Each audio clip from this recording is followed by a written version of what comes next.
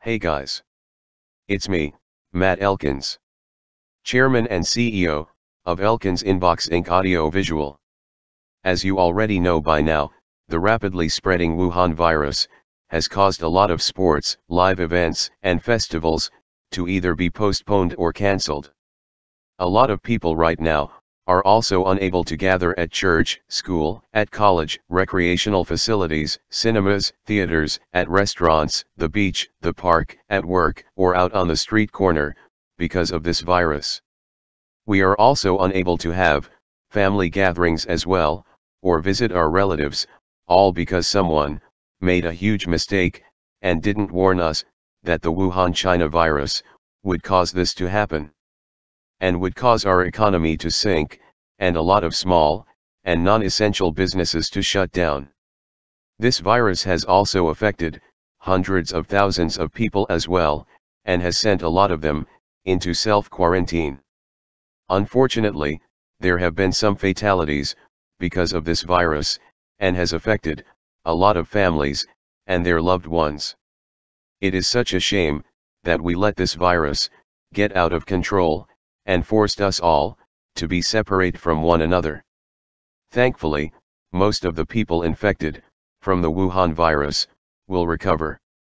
The mandated social distancing, stay-at-home orders and event and sports cancellations, because of the Wuhan virus, have torn us all apart.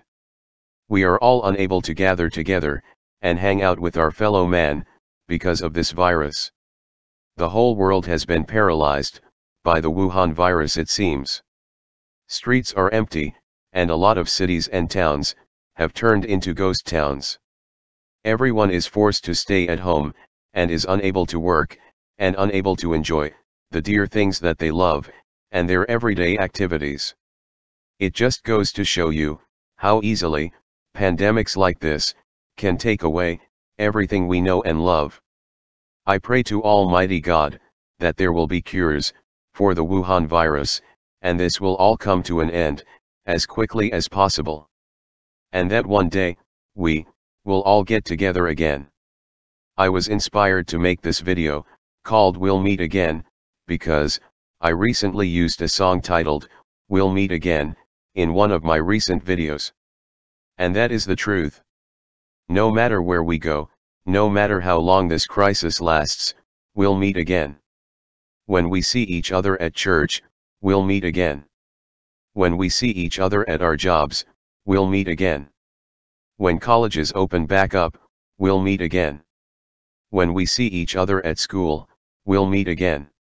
When we see each other at an event, a sports event, a festival, at the park, on vacation, at a restaurant, on the street, at a shopping mall, in a movie or stage theater, at a recreational facility, or at the beach, we'll meet again.